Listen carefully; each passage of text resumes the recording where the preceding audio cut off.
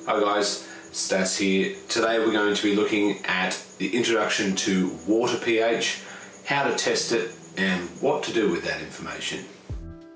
So a brief introduction to what is pH. What is it? Well, pH is the measurement of the concentration of hydrogen ions, power of hydrogen, pH, or the potential hydrogen. So basically, um, the, the greater the concentration of hydrogen ions, the lower the pH score is. Here's a pH scale for reference. So more hydrogen means more acidic and it is a negative uh, base 10 logarithmic scale which means that a difference in 1 on the scale, i.e. 4 to 5, represents a 10 times 4 to 5 decrease in concentration of hydrogen ions or you know 4 to 3 is a 10 times increase in uh, concentration of hydrogen ions. Great, so what does that mean for brewing? Distilled water is considered to have a neutral pH, which is a pH of 7. Anything below 7 uh, 0 to 7 uh, is considered an acid and anything 7 to 14 is considered an alkali or a base. So what does that matter in brewing? So when you hear about pH in home brewing, you often hear people uh, talk about numbers like 5.2, 5.6 uh, or a range between those two values. Um, they're talking about the ideal mash pH. Uh, and that uh, helps the enzymes which convert the raw starches in the grain into fermentable sugars and other uh, compounds which are useful to have uh, for the yeast and, and everything else in the beer. Over the course of the brewing period, the pH uh, of the, the wort and then as it ferments into beer, it, it does drop at several stages. So we start with water, we go down, we add our grain, and the pH will drop because of that. Talk about that in a minute. And the mash will happen during the period of the mash.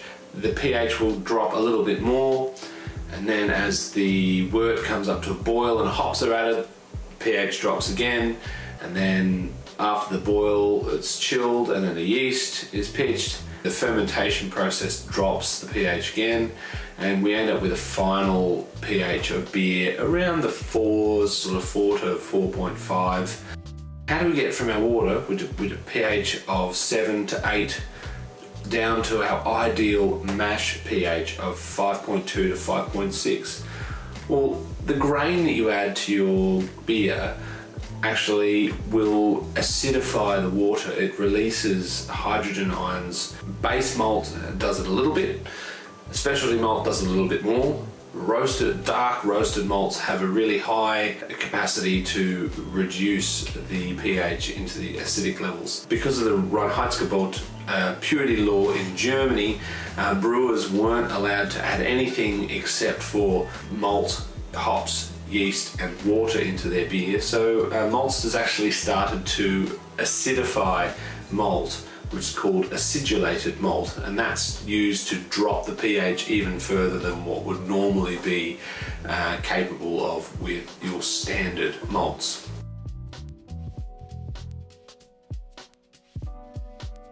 However, if you've decided to take control of modern techniques rather than living in the past, you can also adjust your mash pH or lower your mash pH using acids like this one here. This is phosphoric acid and you can also get lactic acid.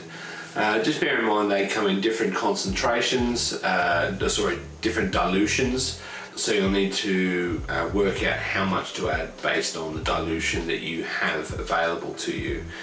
Uh, if your pH is too low and you want to raise the pH, you'll need to employ something like calcium carbonate, known as chalk, or sodium bicarbonate, also known as baking soda. Bear in mind that um, they aren't always soluble in uh, water, so you might need to add them with the, with the mash and uh, give them a bit of extra encouragement to help them dissolve, otherwise it might throw off your pH reading.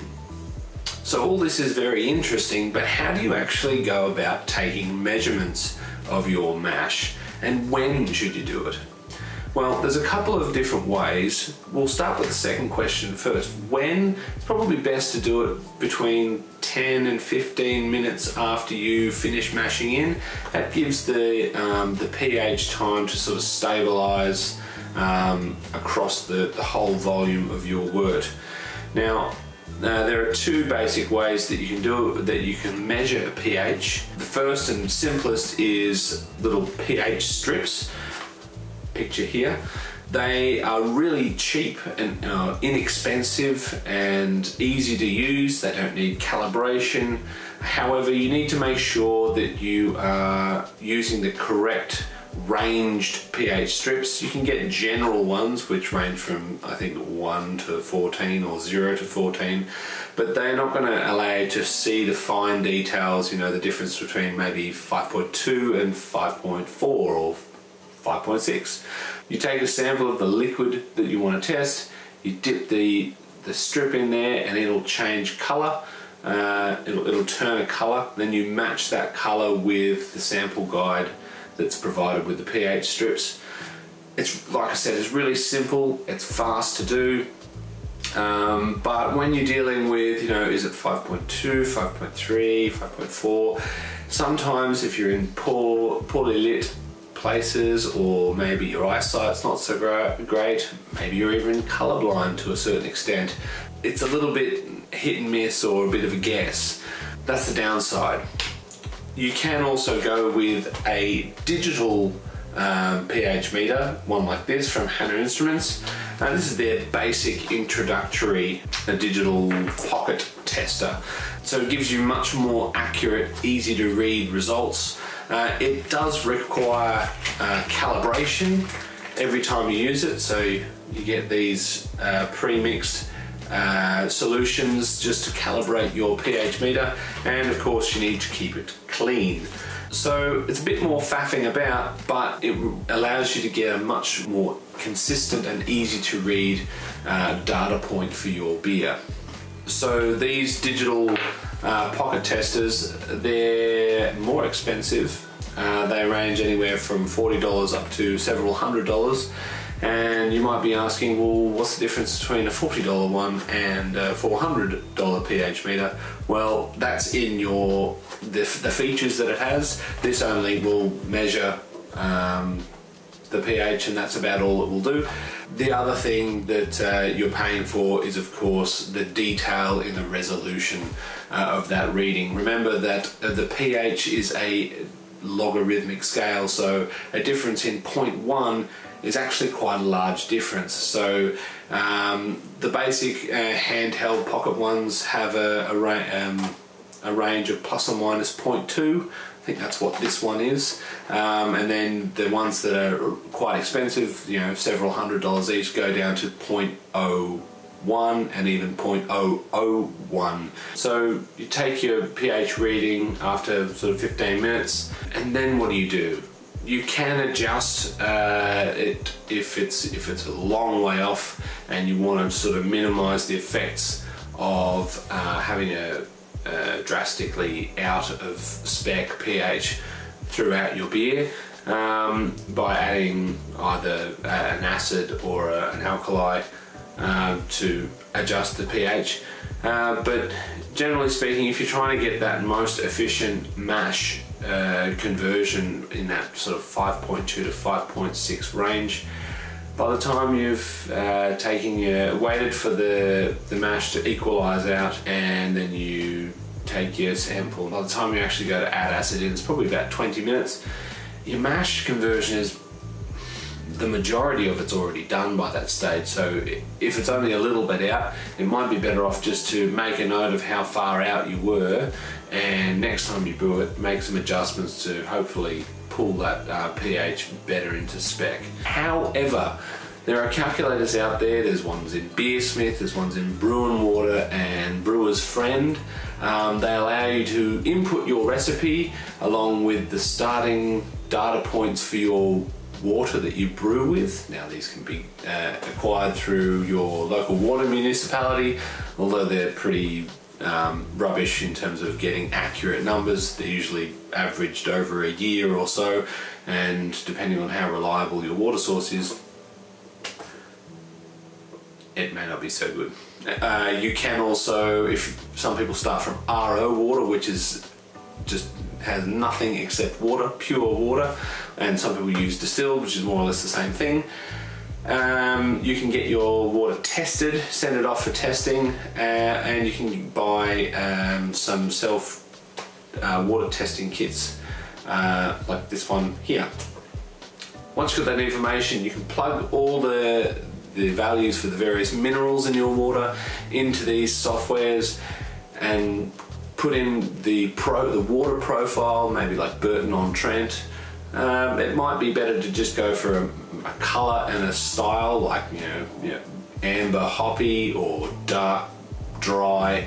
Um, and the software will calculate the additions that you need to do so that you add them in when you're adding the grains into your mash to hopefully get quite close to um, the desired pH. Keeping track of your pH during brewing is really something that you need to kind of take detailed notes and try and get consistency in terms of I know that my water is about here and this is what I'm trying to get so I'm going to add um, these minerals to try and bring me down to the right pH or even raise me up to the correct pH that I want. And so you sort of dial in your own process based on your water and the beers that you're trying to make.